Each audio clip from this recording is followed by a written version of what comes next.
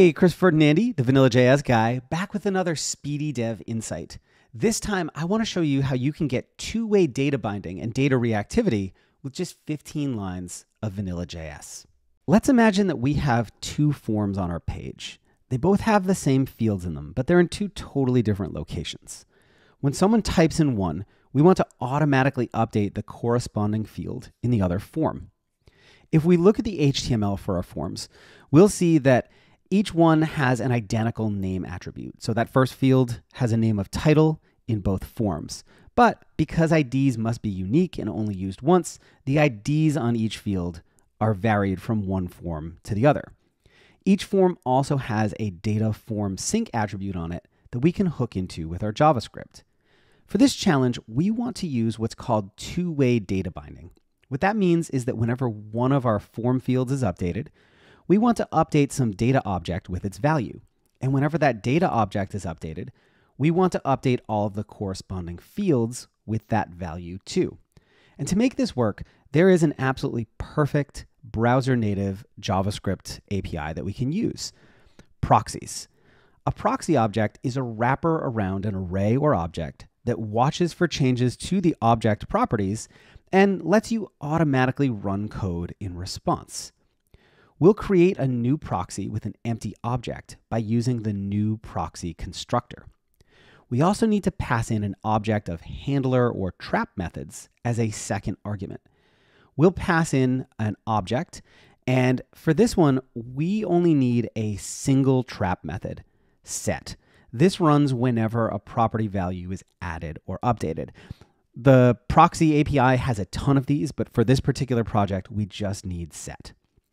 The default behavior for this method would be to update the object key with whatever value was provided and then return true.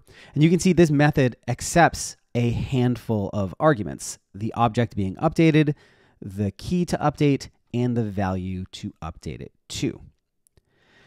To update our field, whenever the data object is updated, we can use the query selector all method to find all of the fields whose name attribute has a value equal to the object key that we're updating.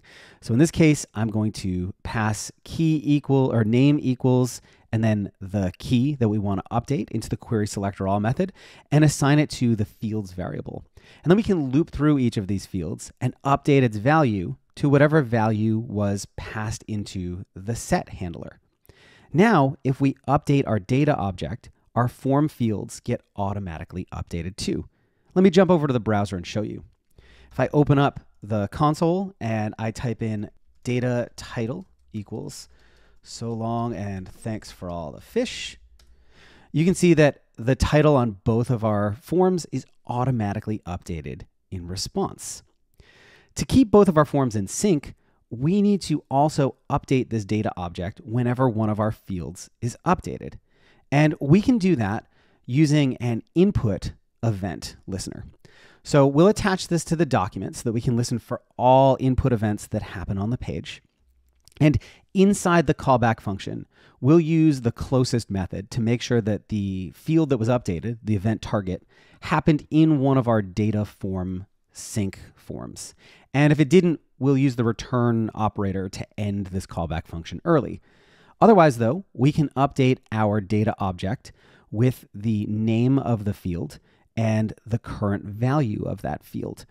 And when we do this, this will update our object, which will cause the proxy argument to run our set handler function, which will update all of the other fields to match. So just as an example here, how are you today? Um, we can update the title with nice to see you. And you can notice as I type in one of these fields, the other field automatically gets updated to match. You can access all of the source code from this talk and learn more about two-way data binding and state-based UI over at gomakethings.com slash SOTB.